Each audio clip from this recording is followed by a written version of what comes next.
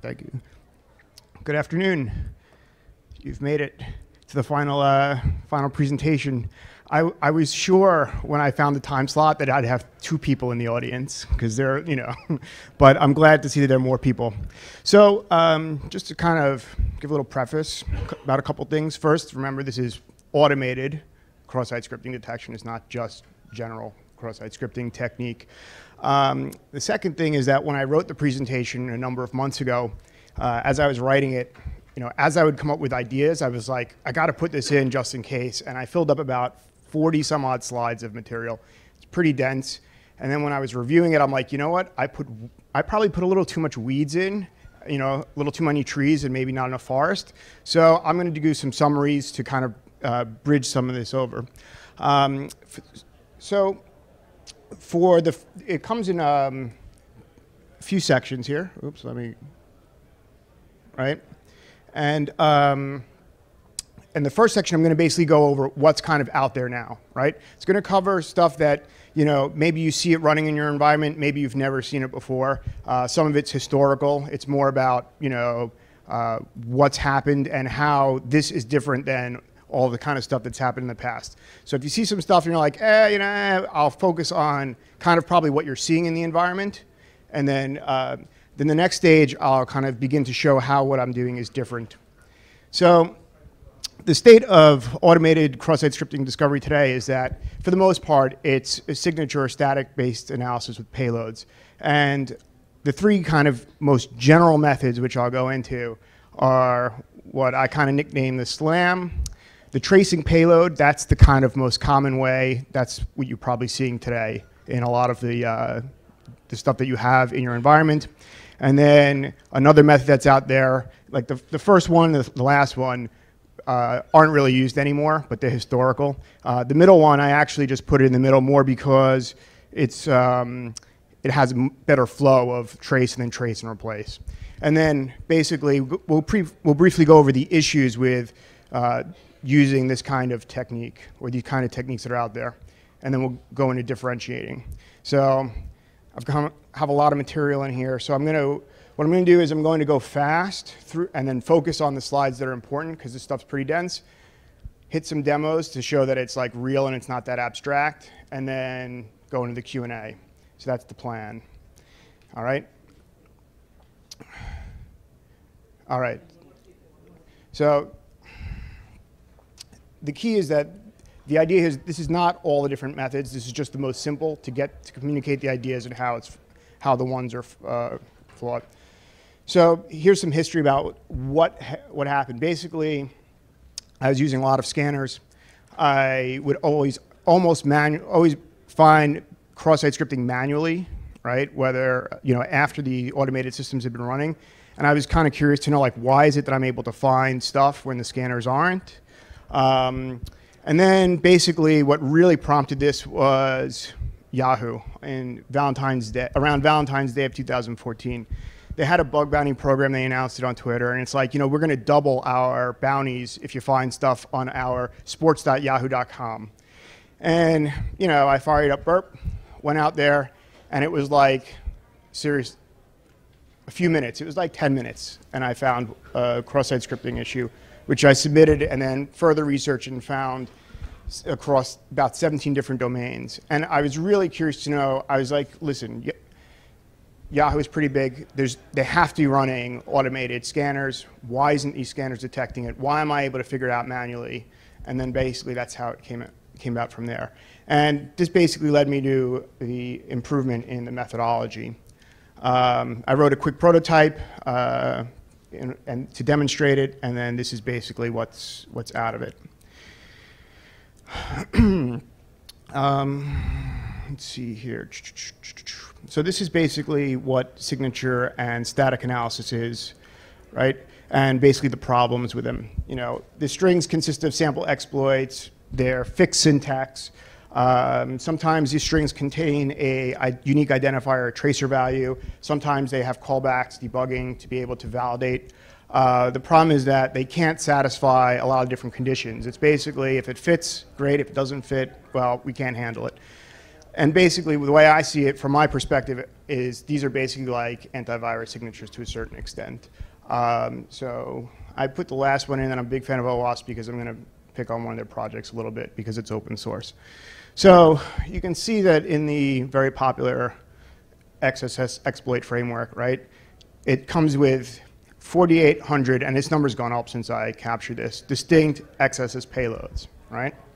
And they look pretty much like this. Now, there are a lot of them that are a lot more complex in nature, a lot more strings, a lot more encoding, a lot more, but this is the most um, obvious example of having, you know, a string with different, uh, what do you call it, different syntax, but it's basically this very repetitive, the same thing over and over and over. And if your code doesn't happen to match one of these syntax issues, then it doesn't find it. Uh, here's another example from another open source utility, XSSer. Same kind of thing. You can notice that there's a payload and it kind of gives the browser versions which it may be affecting, those kinds of things, but they're static, right? Same thing with W3AF. I picked the, the first and the third one because they're pretty well known, right? I mean, if you do pen testing, you probably know about them. And it's the same thing, you know, static payloads, right? So now I'm going to go into the techniques that, that these scanners use with those payloads okay? And for the most part, everything that's out there now is a variation of the three techniques that you're going to see. Those are the ones that I popped up earlier, but we're going to go a little bit more into the logic of it. All right, so this is what I call the payload slam. All right. Basically, your scanner goes out, it finds a parameter with a data value, and then it basically just does a quick substitution, slams it in there, does the replace, and tries to identify if there's a vulnerability. All right, there's no tracing value, no callback, nothing. That's it's one of the methods that's out there. This is the most popular method, the one that you've probably seen in your environment, just to be frank, right? You find a parameter with a data value, it has a payload with a tracer value, you know, it's basically signature based, like you saw before. And then, you know, it sends that to the, uh, to the application, and hopefully you get one, two, three, four, five, or whatever your unique identifier is, or your callback, or something like that. And if that works and you find it, then there's probably a vulnerability there. If not, well, it doesn't detect it. Again, this is a more historical one, but it's just uh, for completeness. Um, what it does is, uh, you know, it finds a parameter with a data value. It puts in the tracing value like one, two, three, four, five, similar to this payload here, and then basically, sorry, some of the tracing value, and then basically submits the payload right after that with no tracing value in, in the payload. Is that, is that clear? Anyone have any questions on the older methods that are used? All right. So basically the issue is string transformation, right? You submit a string, the application does something with it, it, it breaks it in some way, you can't, and then the automated scanner can't figure out what to do with it, and then it basically fails, right? Um, so here's where I'm going to provide some context about where I'm going with this, okay? So instead of having a static long string, what we're first going to do, what we're going to do really is trace the data through the application all right, we're going to find the input and where it comes out. All right, we could si sign a tracing value, like a unique token, slug, whatever you want to call it. It's going to go in. We're going to try and get it into the application through a variety of methods. We're going to see where it ends up and see the output and basically create case studies based on that. Now, once we know where it comes in, where it comes out, right? There's no, there's nothing special. It's just, you know, a unique alphanumeric string, you know, okay? Once we can map the input to the output, we know where it comes in, we know where it comes out, and we can create our cases, all right? We then can begin testing specific cases. We can then say, listen, does this particular character go through the application? Because I know what this string is supposed to be, right? We're gonna put our tracer, we're gonna put our character in, we're gonna put the tracer behind it. It's gonna be a unique string like tracer, character, tracer. And we know that that's unique. We know where it goes in, we know where it should come out because we've already mapped that. And once we do that, we can then determine if that character comes to out to, on the other side. Now, when we look at where things are out on the other side, right, we look at the source code of the application, whether it's you know reflected, stored, whatever. you're going to know the context in which those tracer values come up, right? Goes in, I know I'm repetitive, but I just want to try and get the logic clear, right? It goes in, comes out, where it comes out, you're going to know where it is in, let's say, that HTML or JavaScript, whatever. You're going to know whether it's in an attribute. You're going to know if it's between tags, right? You're going to be able to parse that out and figure out more information about it based on that because you're not worried about any kind of transformation happening, right? I mean, maybe the field doesn't accept alphanumerics, right? Then it's probably not vulnerable anyway. So that's the kind of structure. You're going to get data in, get it out, figure out unique way of creating unique strings to get it through, and then you can figure out what makes it through and what doesn't make it through. And based on what makes it through and what doesn't make it through, we can build a table, right? And then once we build a table, we can determine our exploits based on the table because we're going to know what characters can get through, what, what can't get through.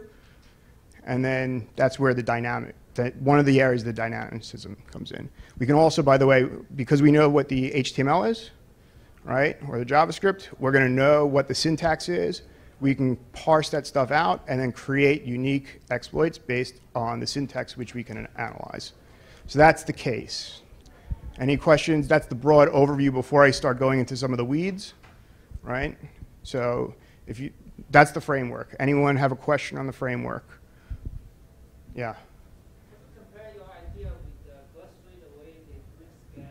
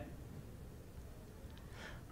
Okay, I, You know, I- BuzzFeed basically scan, automatic scan. Right. Basically, you put the special string and then see out how it comes out.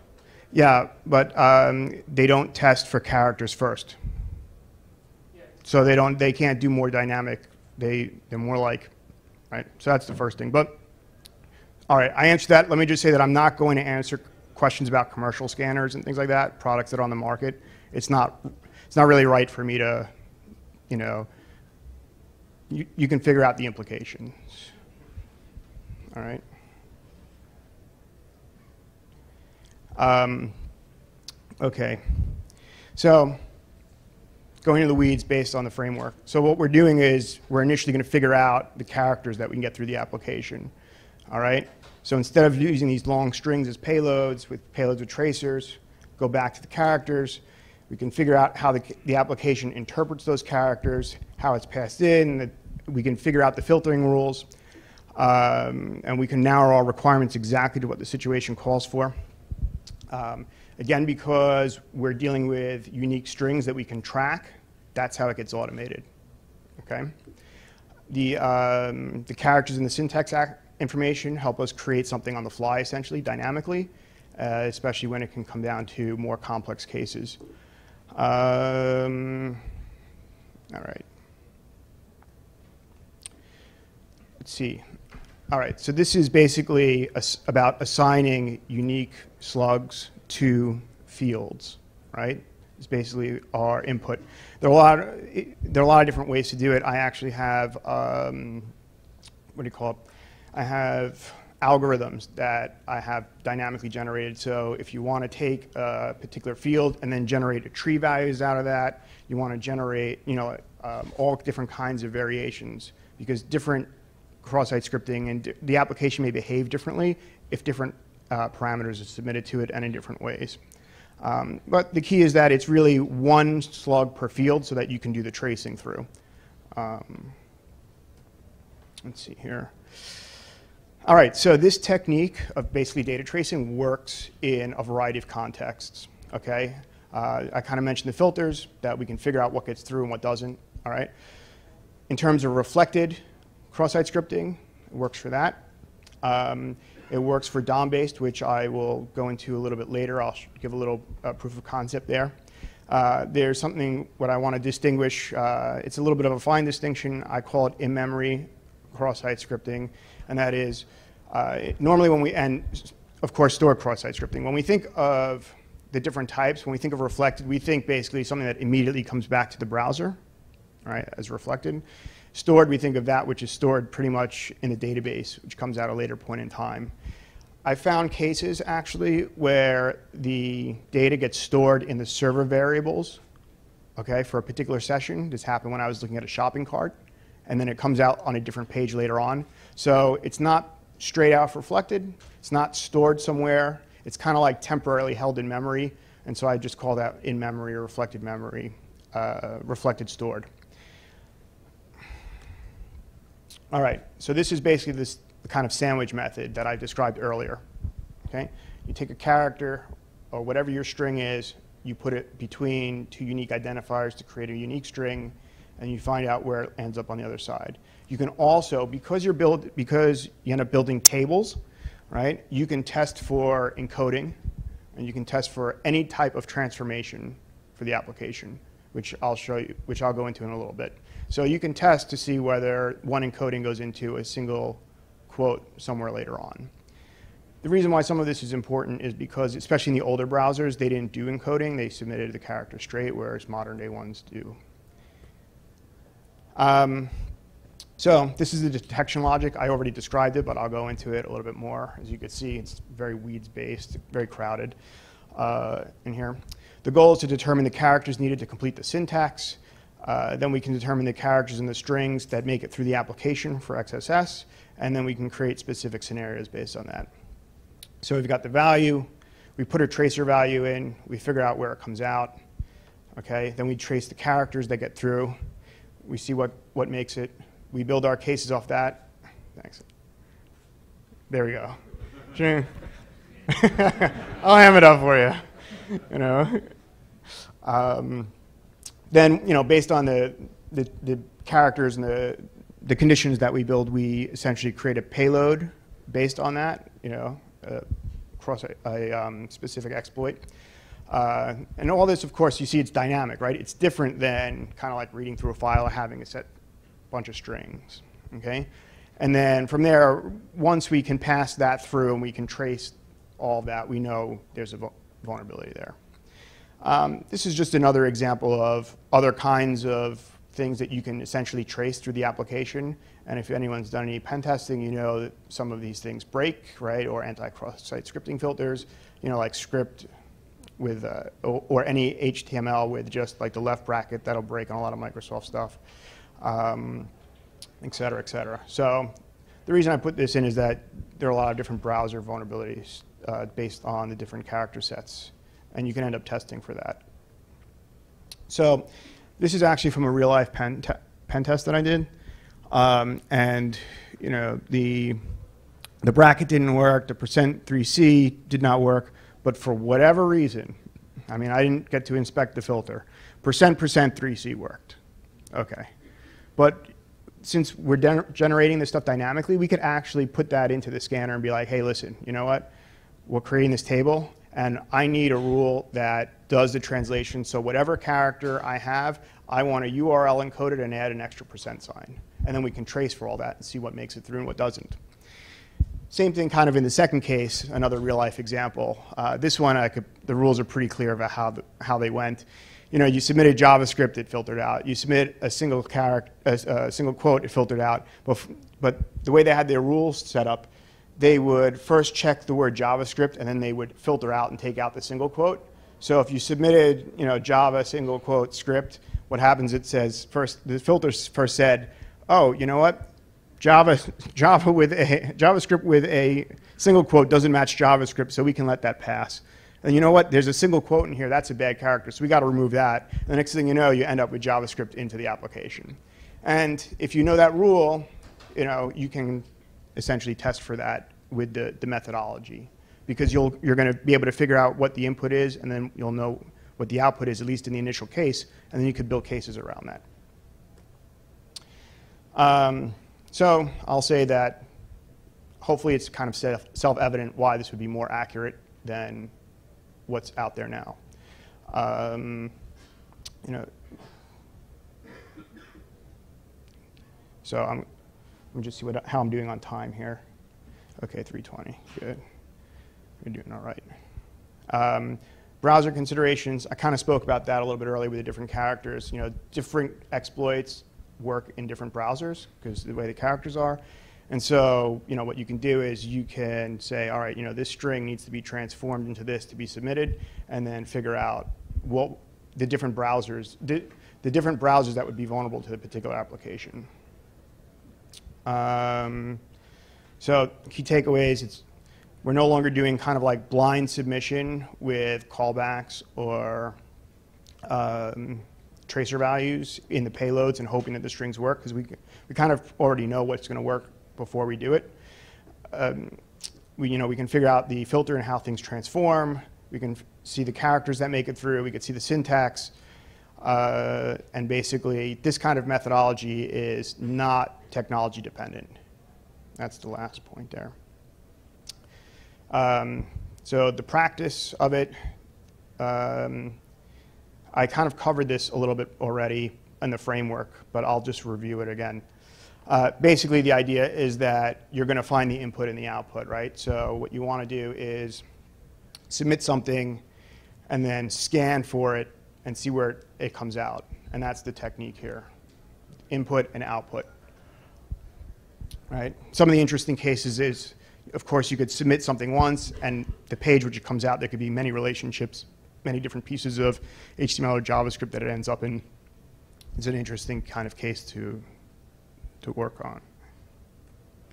Um, it can work, of course, for different techniques, get, post. You could use this in headers. You could use it in cookies to test um, because it's kind of syntax independent. You can parse other kinds of stuff as well if you're interested in those. You can use a technique for that. Um, and it can also be done in DOM. And this is kind of unique. Uh, someone told me earlier uh, over the last two days that this is not possible, but then, of course, I showed them that it was possible. And the way this works is slightly different, right? So if you have an automated app that's doing this stuff, if you want to look at the DOM, you're going to essentially need to create a browser object of some type in an automated fashion, okay? So create the browser object, you get the HTML and the JavaScript into, this, into the browser, and it renders, you know, in memory. Then what you can do is you can inject custom JavaScript into that page. And basically, once you do that, you have full access to the DOM. All right? Once you have full access to DOM, you could, of course, go and search for different objects and strings and values and stuff like that through there. So you can use the other the method that I just described because you first have your tracer value, right? That gets injected into that gets represented in the DOM. You inject your own JavaScript code to search through the DOM, and you find where that value is in what variables. And then, of course, you can then use that sandwich method that I described to see what else makes it through. Does that make sense? Does anyone have any questions on that? I am glad that I am so clear on this stuff. I must be an awesome presenter. Thank you. All right. All right. So this is something else. Um, it's just a little bit more technique of some of the things that I described, mainly. Oh, okay. Who? You.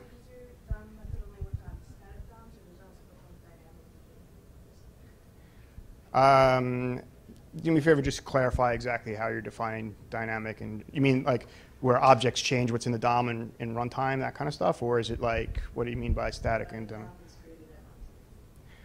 Um, I mean, right now, I mean, based on, I'll just say what I'm describing in the presentation, right?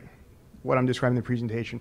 It doesn't do things like AJAX, right? But if you had, I'm going to put it more in theory now as opposed to practice, right? If you inject custom JavaScript into a page and you have access to the DOM, you should be able to manipulate it and do whatever you want to it, right? So even though I don't describe anything like that in here, that's a little bit, you know, removed. What I'm talking about is basically figuring out uh, where your where your data gets assigned within the applica- within the DOM, and then figuring out what characters get through there. And so, if there's something like you know a document.write, let's say, you can see what you can know for sure that that's going to be exploitable using the, this technique. So. Um, let's see here. Okay. I feel like I'm getting very repetitive now that I kind of gave the large overview. How am I doing on slides here? All right, so this is an example of what I was describing earlier of building the, the logic behind building a dynamic payload, you know, a dynamic exploit, which is, you know, essentially once you have the characters, The payload is based on what gets through your table, and then you have the final result. And then this is another example of pretty much the same kind of thing.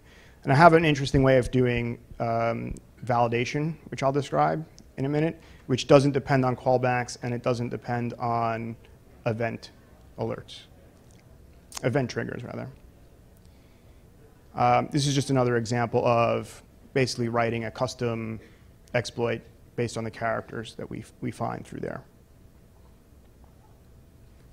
All right, so before we get to any kind of Q&A, uh, let me show a, uh, a demo of some of this stuff in action because it probably looks like a lot of vaporware right now.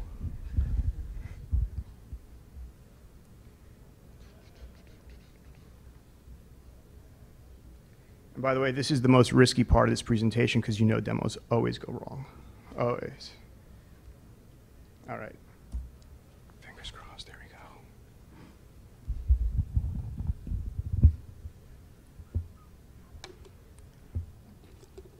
Now I'm going to shrink this up a little bit, but I can make it larger. It's just so you can get an idea of what this looks like.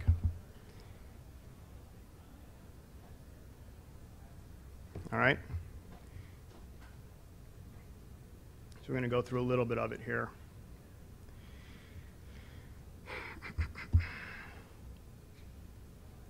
So this is our basically case study, right? It says where we find the URL that we find, the test string that we're using, the test URL, the method that we're using, the unique identifier, the slug that we're using, are we authenticated or not?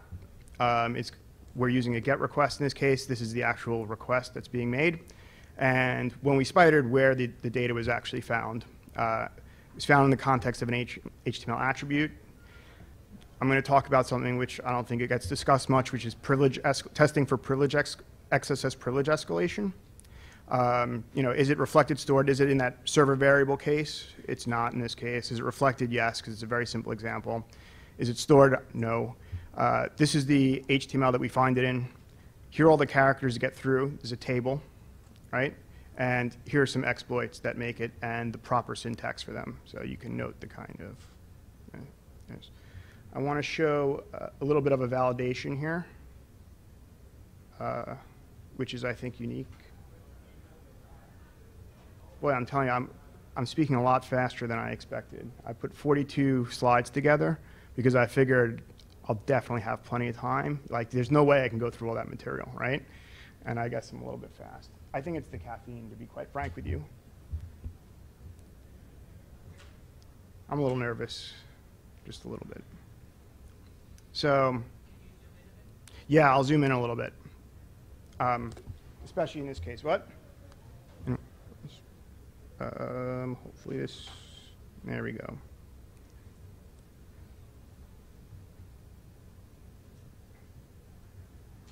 See if that fits. So here's the, the, the validation case that I'm talking about, all right? So normally the way it works is that you have callback to another spot, right? Uh, or you, you're waiting for an event to trigger, okay? In this particular case, right, what we can do is instead of using either, either of those, which are kind of dependent on other things, if data is assigned to a variable, right, by nature that code is executed by definition, right? So we don't have to rely on something external. All we need to do, right, is inject into the page that we're having in the browser, it, our object, check to see if that, that known variable, right, has the value that we assign to it. And if it does, then we know that that JavaScript has executed. Does that make sense? Anyone have any questions on that? So basically, it's a different way of doing the validation. We don't need any kind of external thing. We could simply read through the DOM and figure out if the data has been assigned to a particular variable. Um, these are just other examples of different contexts which we're pulling from. Um, you guys want to see the DOM example now? That's the most risky one for me. And then I'll answer questions. All right, so here's a piece of HTML, right? Totally DOM-based. It is the, the worst piece of JavaScript and HTML probably I've ever written. It's just an example. You have uh, the this vulnerable function, DOM XSS. It takes in a string. It then assigns that string to like three different variables just to show that I can search for them and then show that the, the value that's in them after the assignments. And then it does the document.write. Um, pretty straightforward. This is the, the unique slug value, right, that I've been talking about that was assigned in the other examples to the field. Uh, this is commented out. We're going to go into that in a second. That's the basically the validation piece of it. This is just an alert that we're going to run to show that um, basically it's DOM-based XSS, to, to, and then boom, that's that's what it looks like. It gets triggered on the onload event. Uh, let's see if I can. Boom, there it is, right? Pretty straightforward.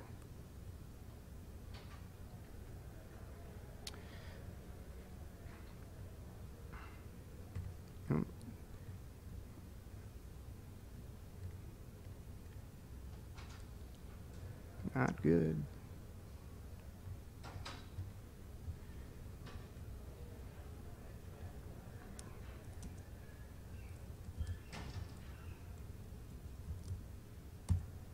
This is like what's feared most. So, let me just put it in, uh. So the next thing we're going to do is we're going to take this out. Just comment this out.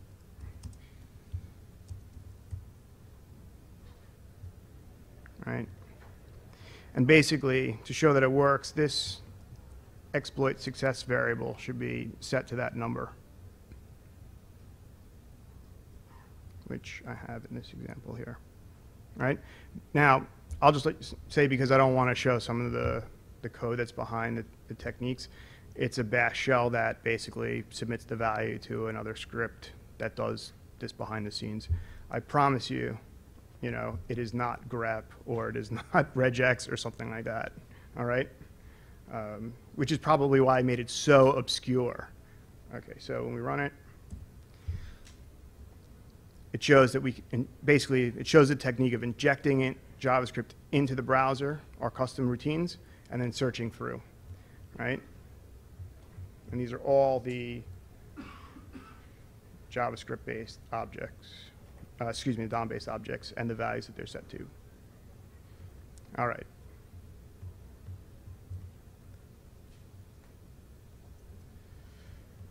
Let's go back to here. Okay, so now we'll do the Q&A. It's a little bit shorter than I expected. Sorry. You have a question? Okay. I wasn't sure if that was that or you were leaving because I had a lot of exits. Well, a few. They're catching planes, I'm sure. In uh, the work that you've done and the exploits you've seen, do you think that browser companies should deploy XSS detection tools, or do you think it's a losing game? Do I have to answer that?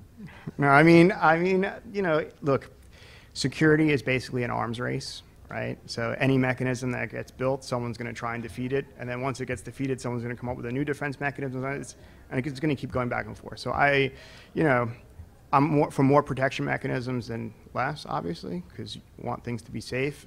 Um, but there's no no guarantee if that makes sense to you. You're welcome.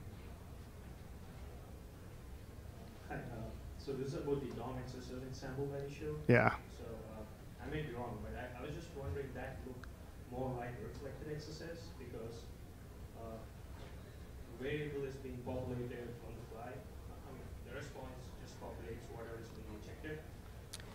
Um, it, it's not, okay, so let me exit out of here for a second. I'll go back. That's why I tried to carefully construct this example to show that it's not reflected because, um, for, so first off, you can see that, uh, that there's no point at which there's a script value that's like in the page. Uh, let's see here. Um, it's not, it's not reflected because when I open this page up, right, I don't have a parameter on it, It's populated into a single like document of right, but initially in JavaScript context, it, it's being populated inside a variable, right? So we have XSS right at that point, isn't it? I mean, that, that look more like reflected XSS, so. Well, u- usually re- reflected XSS is when the value in the variable goes directly out to the, written to the page. Um, So in this example, what you mean it's directly in the page, uh, because it's, uh, the HTML has the JavaScript inline script with the variable, and it has the input value here, is that right? Well, look, I, I'll put it this way. Even if you don't like the example that I gave you, okay?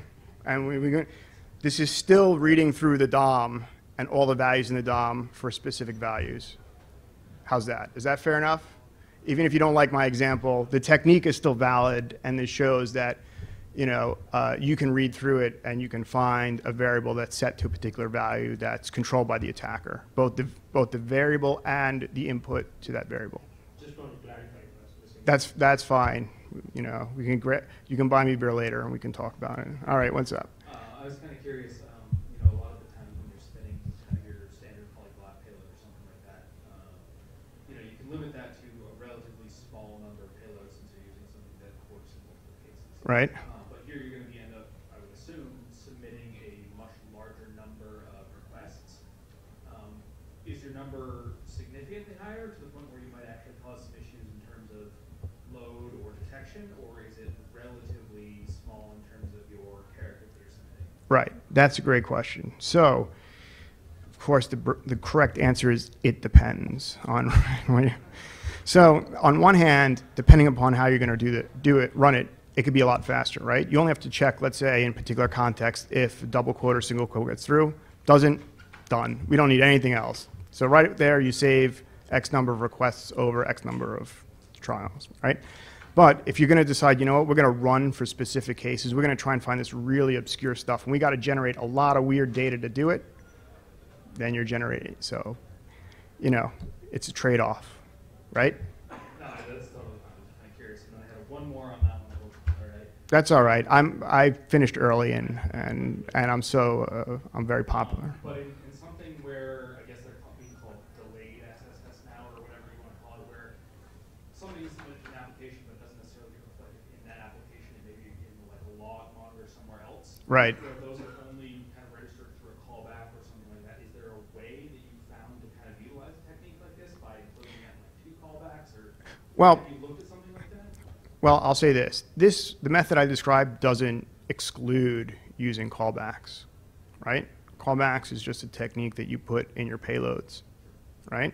So as long as you know that, that those set of characters and stuff can get through, and that callback can get through, then wherever it ends up, you can find about, find it at a later time. A single character listening for that, and then receiving that. Well, I mean, it all depends on how the application is built, right? I mean, you're discussing a case in which essentially it's totally blind, right? So you're going to have no feedback at all. All the, I mean, the feedback would be your listener that you have remotely somewhere else. No, what I'm saying is, yeah, I, yes, if you're using callback methods and just blindly submitting strings, then keeping your fingers crossed, you're going to get something later on. You know, I mean, the, yeah, I, no, it, it's all right. It's an interesting case, but you know what I'm going to say is that, you know, um, you're not going to see improvements in any in any method because it's what what gets resulted is totally blind and it's basically luck. Okay, cool, thanks. Yeah, no problem. I checked your website and you mentioned that you found uh, Which one? Oh, okay, yeah. And you mentioned that you found uh, some XSS vulnerabilities in couple big sites like GitHub and OKCupid and so on. Were any of those stored XSS? And how long did, did it take for your to find those? And how many requests did it take? Wow. Okay. Um, so first, let me try and read, think through the ones that I've done. So the one on Yahoo was reflected. The one on OKCupid was reflected. The one, which of the other one? The one on Yandex was also reflected.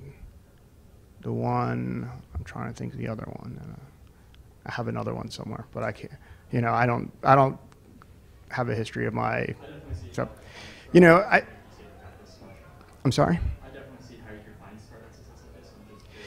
Yeah, I mean, I could talk about stored XSS. Actually, I think this method is definitely superior in finding it, right? Because you you know where it comes in, where it comes out. Um, in terms of the requests, I mean, it's pretty fast. I mean, you know, a lot of it was standard standard kind of stuff that they somehow overlooked. I was actually sitting next to the guy from Yandex when I found that one, and he's like, he's Russian. He's like, it was an older server, older server. All right, awesome, thanks. Cool. Anyone else? Questions, comments? Thank you very much.